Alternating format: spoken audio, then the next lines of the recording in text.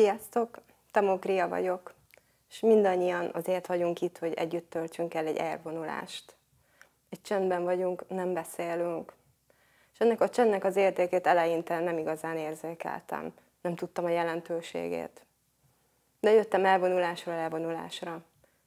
És miután visszamentem dolgozni, és a munkahelyemen nagyon sokszor emberekkel dolgozom együtt, meg kell beszélnünk a munkát, a feladatokat, a határidőket, és egy idő után megjelent ez a csend. Egyszerűen már nem az lett fontos, hogy nekem mit kell elmondanom, hanem az, hogy a másik valójában mit akar mondani. És ekkor egyszer csak csöndben maradtam, és figyelni kezdtem arra, hogy ő mit mond. Neki mi a fontos, neki mit kellene átadnia és megtudnia. És ekkor megjelent az, hogy miért is jövök én az elvonulásra. És a gondolatok így hirtelen elkezdtek csendesedni. És mikor itt voltam, megtanultam lejjebb csavarni őket. Egyre halkabbak és halkabbak lettek.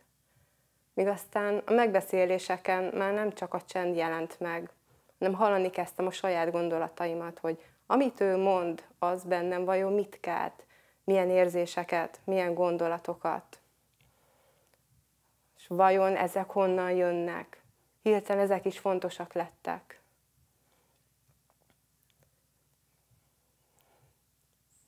És ebben a csendben már nem csak az számított, hogy nekem mi kell, hanem az, hogy nekünk együtt mit kell elérni ott benn a cégnél, miért vagyunk ott, mit csinálunk. És együtt kellene ezeket a dolgokat megvalósítani, és nem külön-külön, hogy én mit szeretnék, ő mit szeretne, és ebből vajon mik fog kikerülni, hanem hogy együtt hogyan tudjuk ezt megcsinálni, hogyan tudjuk időre befejezni a munkát. És ekkor már értettem a csendnek a jelentőségét. És utána, amikor eljöttem, még nagyobb csendben lettem, még jobban figyelni kezdtem befele, hogy vajon mi az, ami még itt megjelenik. És ekkor a koanok is elkezdtek működni. És amikor Csonganszonyi megkérdezte tőlem, hogy mi mozog, szél vagy zászló, akkor azon már igazán elkezdtem gondolkodni. Benne a cégnél ugyanis nagyon sok zászló van az irodaablak előtt, és sokszor fúj a szél. És olyan az ablakunk, hogy teljesen panoráma ablak, láttam az egész eget, az egész tájat. És feltűnt, hogy az ászló nem csak fekete, hanem attól függ, hogy milyen az égszíne. Hol szürke lett, hol kék, és néhol még sárga is megjelent benne. És rájöttem, hogy nem csak az számít, hogy mi mozog a szél vagy a zászló, hanem az, hogy az a zászló vajon milyen színű, és miért pont olyan színű. És hogy bennem azok a gondolatok, amik megjelennek a másik szavára egy megbeszélésen, az mitől lesz hirtelen sárga vagy kék. Mitől függ, hogy én mit gondolok és mit érzek vele kapcsolatban.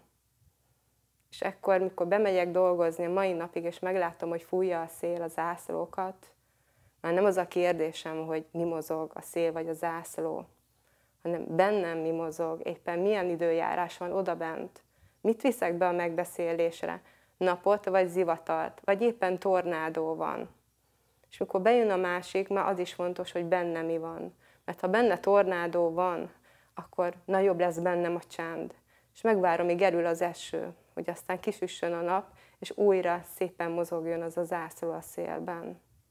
Mert amíg ő benne tornádó tombol, addig hiába van bennem napsütés. Várnom kell, hogy elmúljon a rossz idő.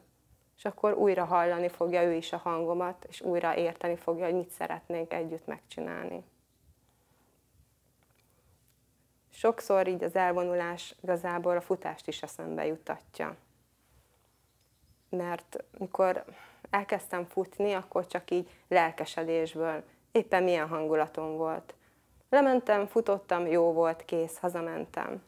De aztán egyszer csak fontos lett az a futás, mert láttam az erőnyét, a hatásait. Szerintem ezt mindannyian átéltük, hogy milyen az, amikor elkezdünk sportolni, és hirtelen jobb kedvünk lesz, több energiánk lesz.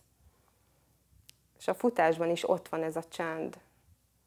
És ott van az is benne, hogy nem elég az, hogy hébe-hóba lemegyek futni, hanem kell a rendszer.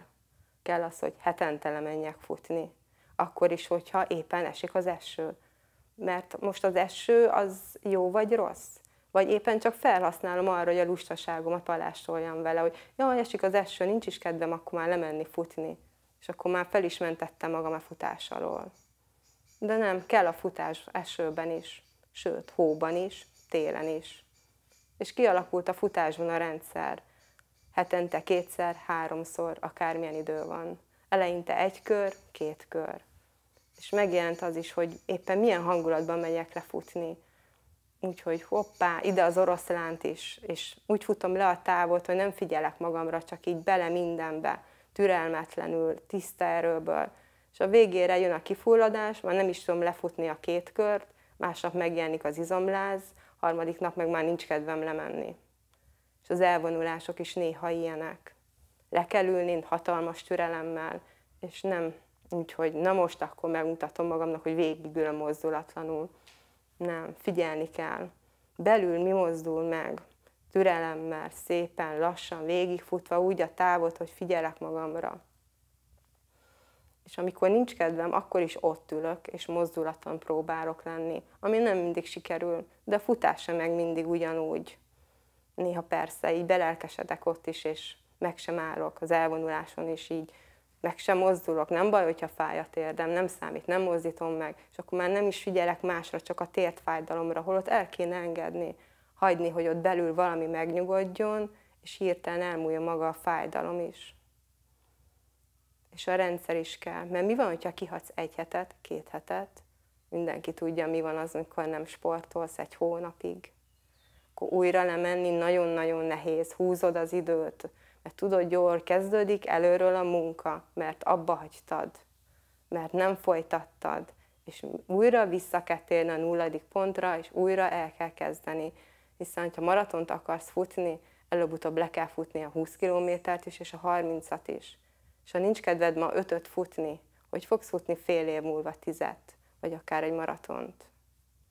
És ezért kell a rendszer, hogy ez megmaradjon hogy tudd, hogy mennyit kell most aznap futni, és azt végig is csináld. Hiszen, hogyha nem vagy itt, nem jössz el rendszeresen, akkor az a zaj, ami odakint van, egy idő után annyira uralkodni fog belül, hogy észre sem veszed. Már nem fogod hallani a csöndet, amit itt megkaptál, és amit magaddal vittél. Vajon az meddig lesz veled? Meddig tudok úgy végigülni egy megbeszélést, hogy végig halljam pontosan, hogy a másik mit szeretne? És én meddig tudok úgy beszélni, hogy annak értéke legyen. Vagy éppen az időt húzom, mert kellemetlen dolgot kéne közölnöm a másikkal, hogy nem leszünk készen, nincs rá idő, hogy megcsináljuk. És inkább minden másról beszélek, ahelyett, hogy ezt az egy mondatot elmondanám. És ekkor lesz értéke a beszédnek is, és nem csak a csendnek. Hogy pontosan mit mondok, és mit kell mondanom, és mit szeretnék elmondani, és azt mondjam, nem mást.